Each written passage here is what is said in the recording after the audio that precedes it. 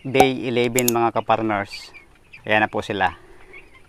So nung nakaraan mga kaparmers ay mayroon pa yan silang sapin.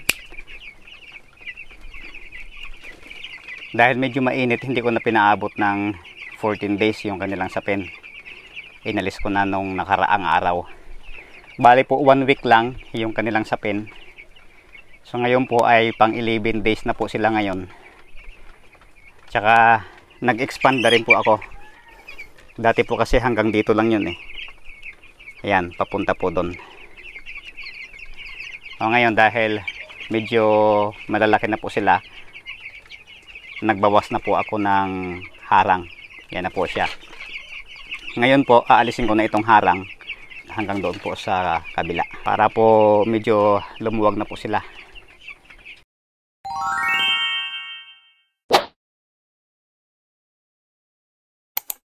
What?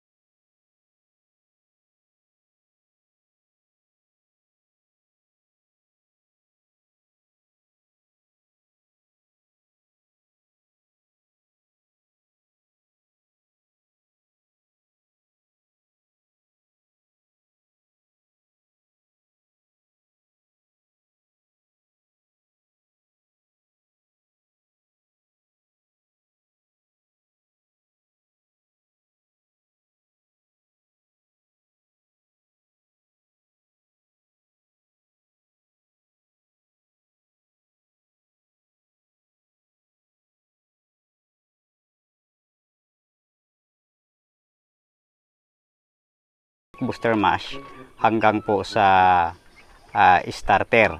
Bakit po ganon? Para hindi po sila magka-impatyo. No? Kasi katulad po doon sa nabanggit ko doon sa aking last video na yung Q&A, kapag po kasi yan binigla ninyo, mapansin po ninyo yan na ang kanilang dumi ay namamasa. Hindi po ba sa isang baby galing po sa gatas, yung pinapakain po ninyo tapos pakainin po ninyo ng matigas na pagkain ay, ay talagang magkakaimpatyo po yon at yun po ang magiging sanhi ng kanilang pagkabansot. Eh, siyempre ayaw po natin yon so ang tamang pagpapakain lang mga ka-farmers ng it- nitong check booster ay hanggang 12 days lang po. Nakalagay po dyan oh, sa feeding recommendations kung ah, nakikita po ninyo Ah, start feeding check booster mash to day old chicks up to 12 days lang. So ngayon dahil 11 days po ngayon, ibig sabihin bukas po mga ka-farmers yung last kasi bukas po yung 12 days. Kaya ipapakita ko po sa inyo kung paano po yung tamang pagpalit, kung paano po yung yung tamang paghalo nito para po ah, hindi po sila maimpatyo. Tatlong beses lang pong paghahaluin yung check booster at yung startamil karambol. So, yung unang paghahalo po yan, unang araw ay 75% check booster. Tapos po 25% na startamil. Then sa susunod po na araw, 50% na check booster. Tapos po, yung startamil naman po ay 50%. Sa ikatlong araw po, yung check booster ay 25%. Tapos 75% naman po itong startamil. Pagkatapos po sa pang-apat na araw po yan, 100% na po yan ng Startamil. Ayan, ibig sabihin, wala na pong halo na chick booster. Ayan, kaya po kapag ah, ginawa ko yon dahil ngayon ay 11 days, so pag nag 14 days po yan sila, ay eksakto po yan na uh, Startamil yung papakain ko po sa kanila 100% po yon so ito po yung example mga ka-farmers no ayan halimbawa po sa 4 na kilo yung chick booster mash dyan ay 3 kilo ayan tapos po mayroon ako ditong isang kilo na ito starta meal so isang kilo po yan ayan po yung chick booster ay 3 kilo Ayan. Tapos ito naman pong hawak-hawak ko, isang kilo ito. Kaya kapag inilagay ko po yan, magiging apat na kilo po yan. Ayan po, apat na kilo. So yan po yung sinasabi ko na kapag kaunang araw, 75% ng chick booster mash, tapos 25% lang po ng uh, startamil crumble. Ito na po yung nahalo natin. Kung mapansin po ninyo, mas lamang na lamang po yung mash kaysa sa doon sa startamil kasi po yung mash ay 75% samantala po yung startamil crumble ay 25% lang. Bukas po ay ikalawang paghahalo ikalawang araw. Kaya po bukas ay pantay na, na po yung kanilang dami. Uh, 50% na mash tapos 50% po na starta crumble.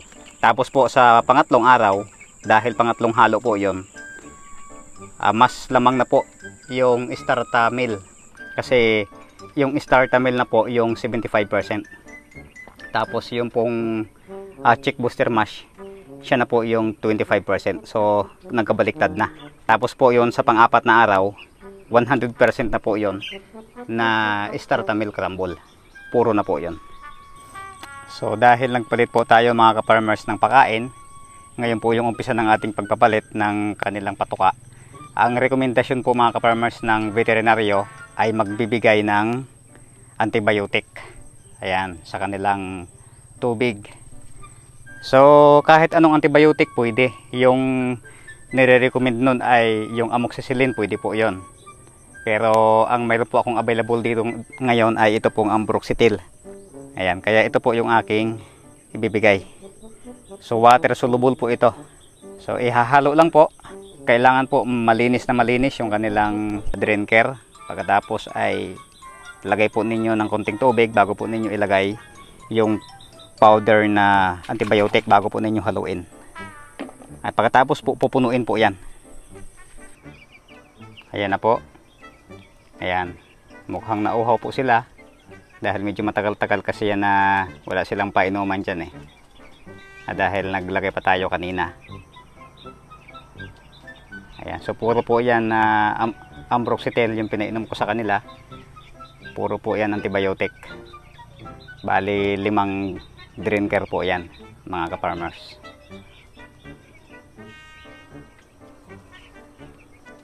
So yung mga ilaw natin ay puro na yan uh, ah, 5 watts. 5 watts po yung iba dyan, yung iba po dyan ay 3 watts. Hindi na po tayo gumagamit ng uh, ilaw na pang sisiw, yung kulay yellow na mainit. Kasi po sila ay 11 days na at mainit po ang panahon. Pero po kapag malamig po ang panahon, kapag tag-ulan, kapag malamig, ay hanggang po yung 14 days yung ating paggamit niyan. Ayan, so kung mapansin po ninyo yan mga ka-farmers, ano, sa unang araw po na nagbigay po kayo ng patuka na may halo po na uh, starter medyo mapansin po ninyo yan obserbahan po ninyo medyo may pagbabago ng kaunti hindi po sila ganun ka ka ano ka excited na kumain pero sa una lang po yan siyempre medyo naninibago po kasi yan eh. at uh, medyo maninibago din po yung kanilang yung kanilang tiyan yung kanilang mga pituka. Yan po yung dahilan kung bakit eh, nire-recommenda ng uh, veterinaryo na kapag ka nagbabago daw po ng pakain ay mahalaga na magbigay ng antibiotic. Ayan. Para po maging safety yung ating mga alaga ng mga manok. Okay mga ka-farmers, maraming salamat po sa inyong panunood muli. Pwede po ninyong i-share sa inyong mga kakilala, mga kaibigan. Ano, at saka subscribe sa aking channel para lagi po kayong updated sa aking mga video at marami pa pong mga impormasyon tungkol sa pagdinegosyo sa ating broiler 45 days na ibabahagi po ako sa inyo. Bye-bye po.